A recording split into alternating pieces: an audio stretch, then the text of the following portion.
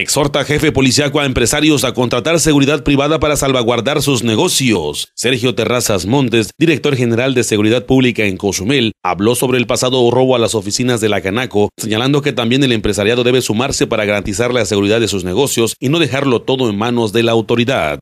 Que eh, hubo un robo en la Canaco, un robo en la Canaco. Eh, ahí en la Canaco no podemos estar poniendo un policía en cada lado, eso quiero que lo entiendan pasa una situación y, siempre dicen, oye, ¿y dónde está la vigilancia? La vigilancia se hace, pero el policía no se puede meter dentro de las instalaciones de la Canaco, ya que se trata de una propiedad privada. No puede estar haciendo, metiendo o brincándose los techos para ver si hay alguien allá arriba. Por favor, señores de la iniciativa privada, pongan su vigilancia privada también, pongan su velador, ayúdenos. No dejen todo en manos de la policía, nosotros coadyuvamos. Pero la prevención, el 80% de la prevención es de ustedes. Si sabían que iban a dejar eh, eh, el lugar solo, debieron meter un, vigilante. Nosotros no somos vigilantes.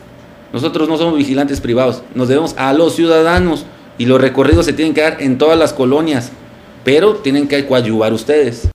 En ese sentido, se le planteó si las empresas pudieran hacer convenios con el ayuntamiento para asignar un policía a sus negocios, como lo hacen joyerías de la avenida Rafael Emelgar. Sin embargo, dijo que esa medida fue tomada desde un mando superior y antes de su llegada, por lo que no es competencia suya tomar la decisión. Bueno, eso no, me corresponde a mí. Tendrían que hablarlo con, el presidente municipal y si él autoriza, con mucho gusto se hace. Pero estamos hablando de, yo creo que una cosa no lleva a la otra.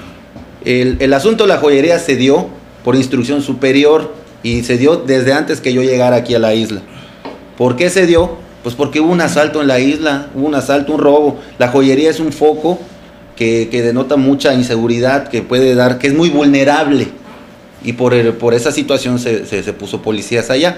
Pero pues eh, eh, en un lugar privado, en un centro comercial, bueno, pues tienen su seguridad privada. Todos los centros comerciales tienen su seguridad privada.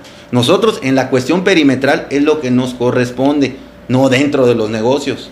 Por eso yo nada más, me, a mí me corresponde hablar de la seguridad de la isla, no de, no de cuestiones centralizadas.